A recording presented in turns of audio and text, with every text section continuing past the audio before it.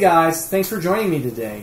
Today I just want to give an update of some of the things we're looking at, some changes that need to be made, uh, and some difficulties I've had for this week. Uh, this week I did have some difficulty with recording videos. I wanted to do more reviews uh, this week. I know I wanted to review on the uh, Heroes, the expansion packs for Dungeon Dwellers. I didn't get a chance to do that.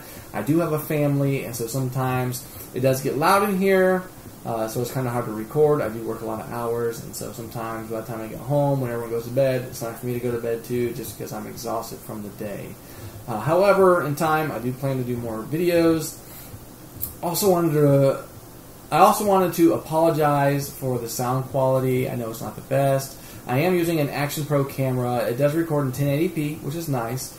Um, however, the audio or the mic on it is very poor. I did figure out a way to hook it up to my computer and use my computer to record and use the mic off that, which is better. It's not the best. Uh, in time, I do plan to get another microphone, uh, and eventually, I want to get a whole other camera altogether with a uh, built-in or uh, external microphone to record sound better. Uh, right now, uh, this is what I have. It is on my time and my resources. However, if someone wanted to donate me a camera, I would greatly appreciate it. But I'm realistic. I know that's not going to happen. So I'm just content with what I have for right now, since it's out of my own pocket. I'm trying to do everything as cheap as I can. Uh, without with limited expenses, obviously the lighting will get better. I know I need to get better lighting, uh, but that's where I'm at. Um, I hope you guys are okay with that for the time being. If not, I do apologize. It's out of my hands. I'm not going to rush out and get a bunch of equipment uh, when I'm just starting off. Eventually, when I get more viewers, more subscribers, uh, obviously I'll get better equipment as time goes by. The way you can help me with that is like and share my videos and subscribe. I'd greatly appreciate that. Eventually, you know, there'll be a lot better things to look at. Uh, for instance, I'm going to Gen Con 50 this year. I hope to see you there. I'm going to the trade day. Uh, I am a counselor in training, as you guys know, or if you didn't know. Uh, and so I'm going to be able to go to trade day, get some experience there. Uh, I'm hopefully getting a press pass so I can write either a book or journal article, depending on how much uh, information I can gain at Gen Con about the therapeutic properties of games. Uh, if you guys see me at Gen Con, uh, feel free to stop me. Obviously, I have questions to ask people and families about their experience with games. I'd like to interview you if possible. Uh, and some of the changes that need to be made uh, with this channel is that I have to change the name. Currently, the series is called Gaming with a Purpose.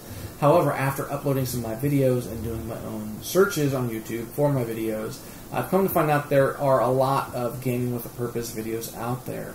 And so, to be able to change some of that, I need to change the name.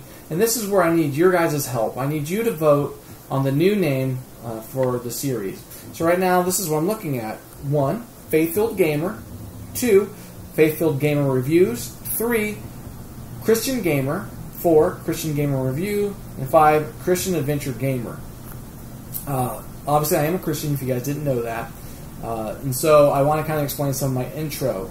I know you look at the intro and you see those the pictures of the demonic uh, miniatures and stuff. And the miniatures that you see are the miniatures that I have personally painted. Uh, I'm kind of proud of that. That's something I've been able to accomplish with my own hands. Uh, and so all those pictures you see in the intro are mine. I love adventure games. I love RPG style games. Uh, I believe that God has created man uh, to be adventurous, and so I I really enjoy being that source of good, going in and trying to vanquish evil.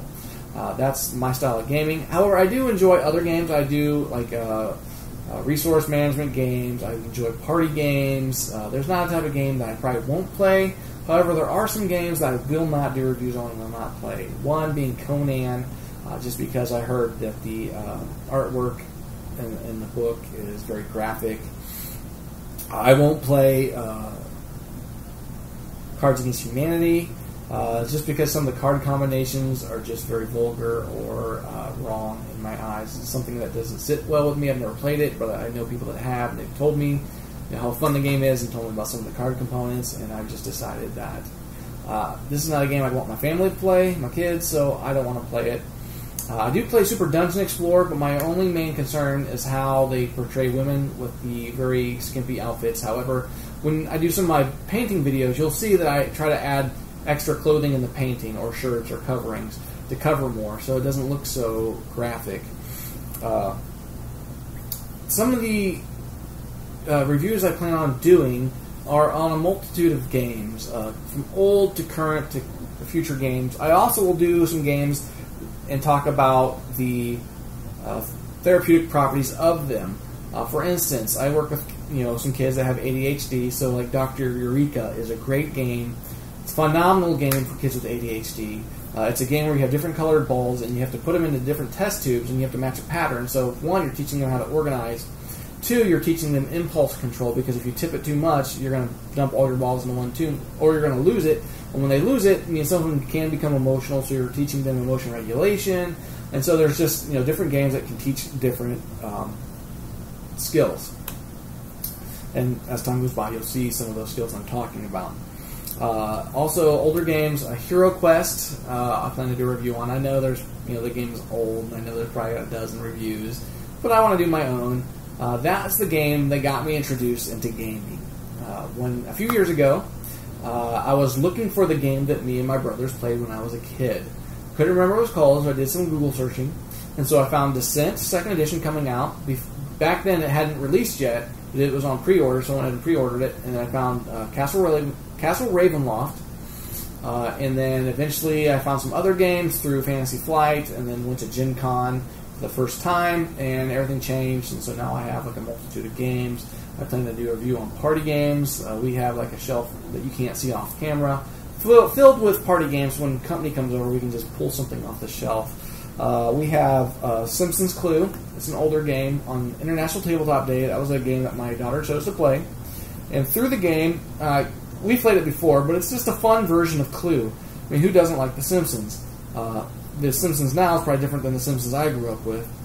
But the different components, you know, Homer, Marge, uh, Lisa, Bart, and just the different weapons, you know, like the donut, uh, the rod of plutonium stuff like that. Uh, just a, it's a good rendition of the Clue. I just like to go through that. Some of the older ones too are like Thunderstone Advance. It's now out of print. It's kind of a current game, but it's out of print.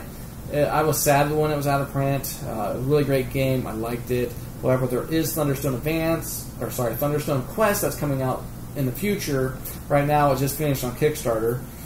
And one of the other older games that I'm looking at doing reviews on is this game here. It's called Dread Pirate. My friend Parker introduced me to this game, and this is the treasure box version. Uh, as you can see, there is a map here that your ships will travel on, uh, and then there's the instructions, and then here is the uh, bag of treasure, uh, and then here are metal doubloons, which um, I enjoy it when they give metal components because the sound it makes, it sounds like real gold, and then the metal ships. Uh, this game does not get very good reviews, uh, or I mean, like it's a I think it's like a 5.6 or something on Board Game Geek. It's okay. Um, however, I really liked this game when we played it, and I thought it's worth taking a look at.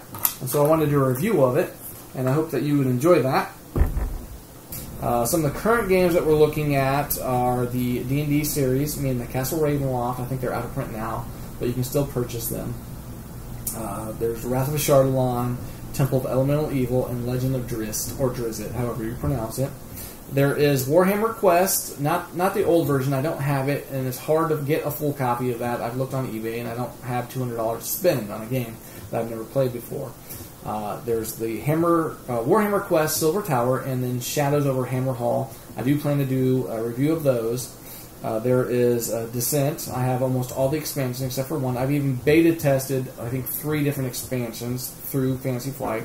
Uh, Fuse, Zombie 15, just to give some examples. I do have some current Kickstarter games that that I have in hand that I want to do reviews on. So like Dungeon Saga, I have like all the expansions and everything from the Kickstarter. I have uh, the Mega Man that that was uh, given to me. I have um, the Super Dungeon Explorer, the, the most recent one that previously released on Kickstarter, not the Legends. Uh, that is one that I do plan on doing in the future.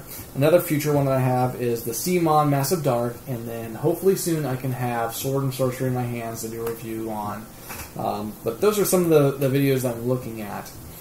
Again, go ahead and vote for the name change. I'd appreciate any feedback. If you guys have any feedback on how ways that I can improve my channel, please list those in the comments below. I'm willing to listen to my my viewers.